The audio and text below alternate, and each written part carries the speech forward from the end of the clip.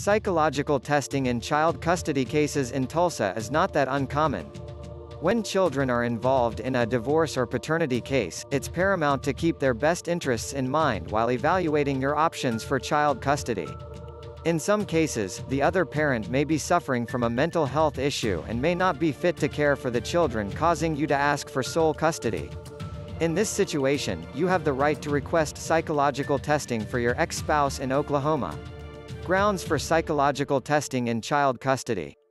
You will have to present valid legal arguments, evidence, and testimonials to show to the court that your request is done in your child's best interests.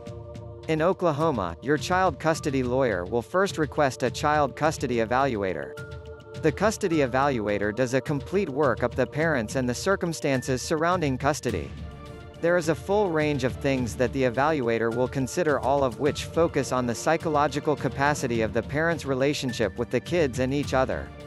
Oklahoma courts may order psychological testing on the basis of following arguments.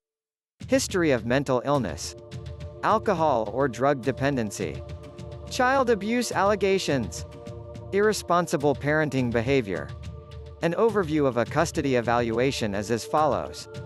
In Oklahoma, the family court can use this evaluation to take a closer look at the parents who are seeking a particular child custody arrangement. The court may make use of a professional custody evaluator in order to make the decision in the child's best interest. The evaluator could include a group of neutral, third-party professionals with at least five years of experience in this area. Psychologists, psychiatrists, and social workers may be a part of this group. Psychological tests may include MMPI-2, Thematic Apperception Test, Rorschach Inkblot Test, MCMMI-3, Bricklin Perceptual Scales. Selecting the evaluator is important.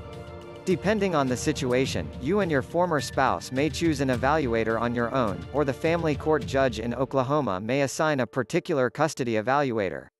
Most times the court has approved evaluators and the attorneys will agree on which one to use. If they can't agree the family court judge will decide. Whether you are selecting an evaluator on your own, or choosing from the multiple options provided to you by the court, you should discuss your choice with your attorney. A knowledgeable attorney might have information about the evaluator's track record in past cases, or whether they have a reputation for impartial evaluation. The purpose of the custody evaluator. The primary purpose of a custody evaluator is as an expert witness. The party that requested the custody evaluator will use his or her opinion as evidence in a trial for custody. Most times the party asking for the psychological test will pay for it. But the parties may also split the cost by agreement or order of the court. Other times both parties may have their own custody evaluators and their opinions could be different. In some cases the evaluator might recommend sole or joint custody depending on the facts.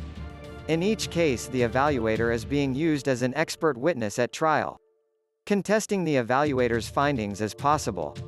Once again the evaluator is simply an expert witness. Like all evidence the judge will decide on its credibility after hearing all of the evidence. In the case of dueling parent coordinators the court will hear testimony of them both and consider it in the context of all the other facts. The judge may also look at the qualifications of each evaluator and consider that along with their testimony. Tulsa Child Custody Attorneys near you.